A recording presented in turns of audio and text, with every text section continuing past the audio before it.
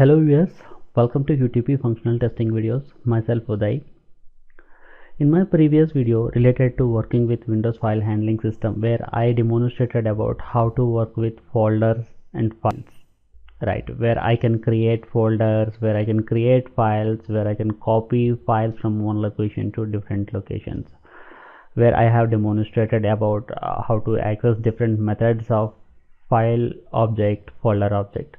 Right in this video, I would like to demonstrate about how to write content into a text file and how to read the content from that text file. Alright, this can be done into two different approaches I can say here. Like one using create text file and open that file as a text stream. And the other option is directly opening like you know create and open that uh, file as a uh, using open text file method all right. So let me go through this script. All right. What i'm doing here is i'm just creating a file system object and uh, i'm checking whether that file exists or not. If doesn't exist it will create a text file. All right. Here true means whether do i need to overwrite it or not. If that file is doesn't exist uh, if it's already exists then it will overwrite that file. All right. Once i have this file system uh, file object what I am uh, what I am doing here is I am getting that uh, file object all right with that file object uh, whatever the country as you can see here this file doesn't uh, object doesn't have any methods related to writing or reading content from that file all right so the reason being we have to open uh, like you know use this object and open that file as a text stream right? For that what you need to do is use object file dot open as a text stream right? And this is the mode. Uh, when i say mode what does it mean is uh, like whether you would like to uh, use the text stream for writing or reading or for appending for reading it is 1 you need to specify it as 1 there. All right. And for writing you have to specify as 2 all right. For appending uh, you have to use 8 there. All right. So when i say like what does it append mean? Says if you already have some text all right at the end of that text it will write the whatever the strings or any text. All right so here I need to have two different objects. One is for writing and one is for reading. Okay. And what does that zero means is like the file can be unicode uh, uh, the file can be is in unicode format or in ascii format.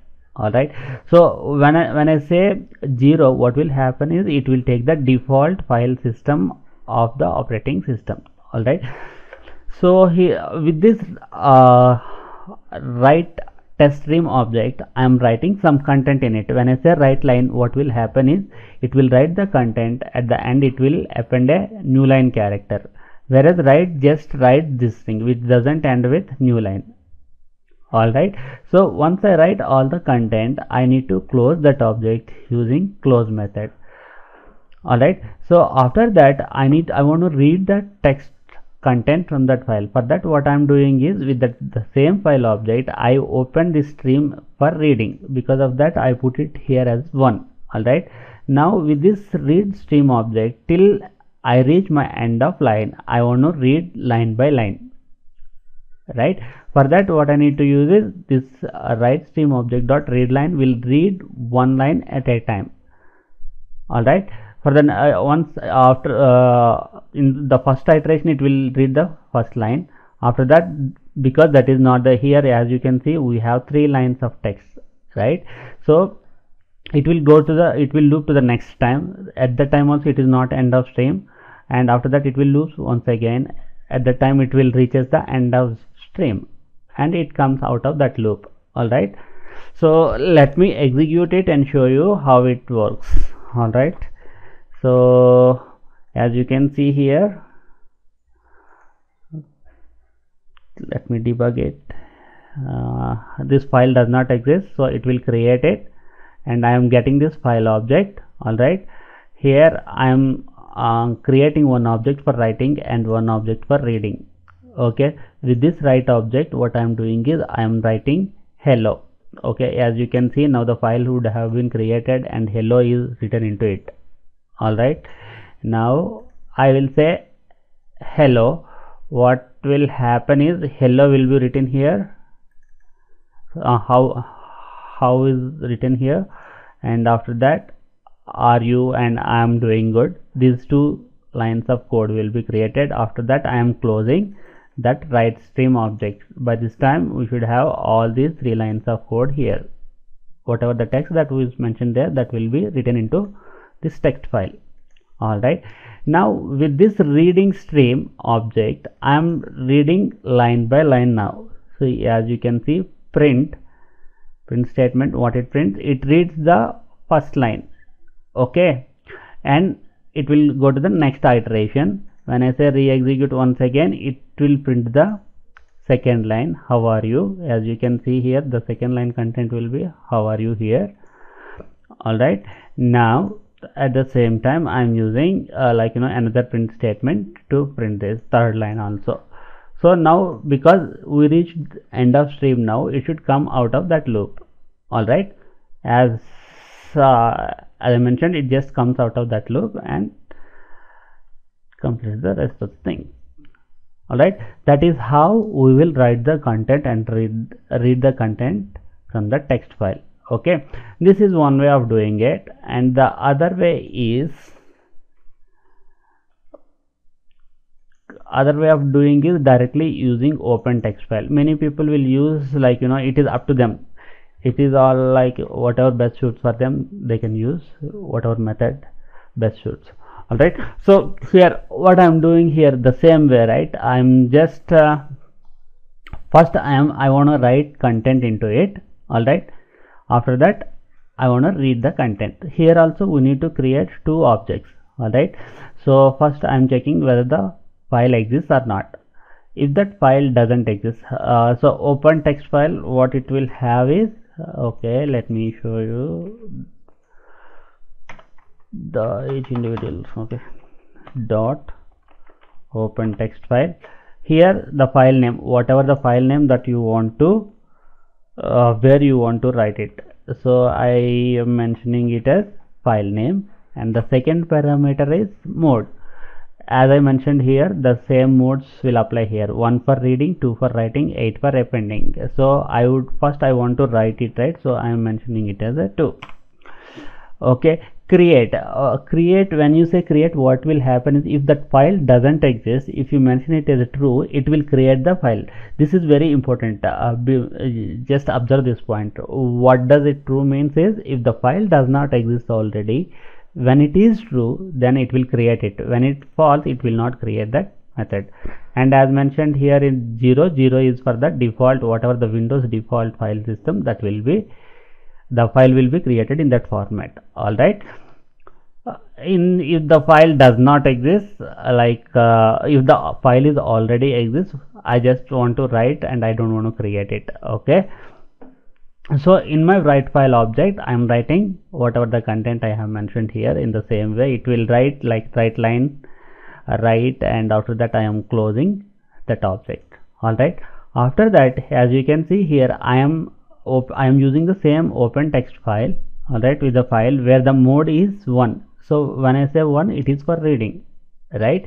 So this object is for reading the content from the from the same text file.